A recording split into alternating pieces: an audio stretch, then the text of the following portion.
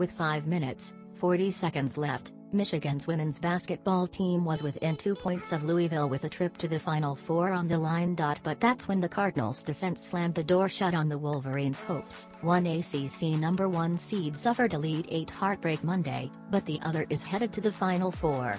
Louisville, the top seed in the Wichita Regional, held off a gritty third-seeded Michigan team that was making its first appearance in the Elite Eight.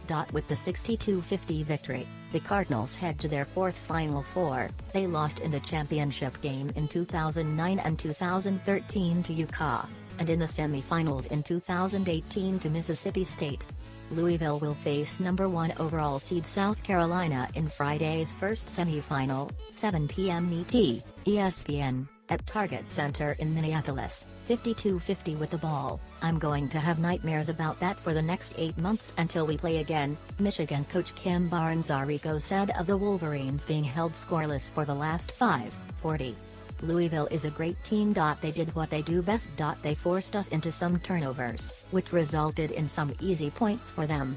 Indeed, defense has been what the Cardinals have done best this season, but they also have had a strong offensive tournament from sophomore guard Hailey Van Lith, who led the Cardinals with 22 points Monday.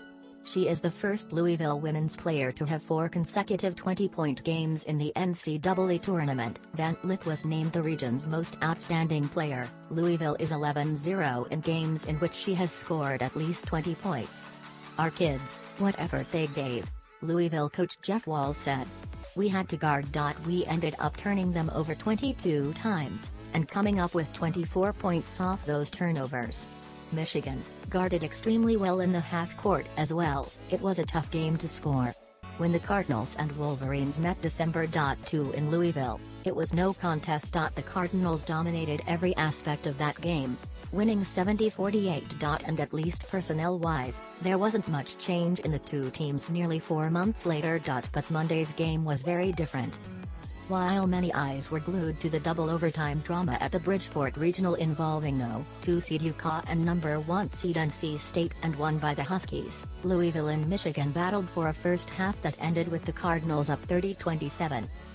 And while it seemed like Louisville was in control for most of the game, the Wolverines were never far behind. Led by All-American senior post player Naz Hillmon, Michigan won the rebounding battle something the Wolverines didn't do in December. Yet in the closing minutes, Michigan just couldn't find a way to crack Louisville's defense.